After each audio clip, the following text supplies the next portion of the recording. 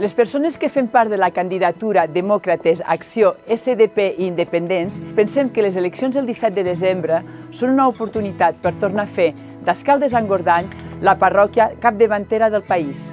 Volem una parròquia respectuosa amb el medi ambient, que velli per la qualitat de vida i el benestar de les persones i que sigui el motor de l'activitat econòmica i comercial. Col·laborarem amb el govern per crear un parc d'habitatge a preu assequible. Fem parròquia. Construirem l'aparcament de l'OVAC que doni servei als veïns i comerciants de la part alta. Fem parròquia.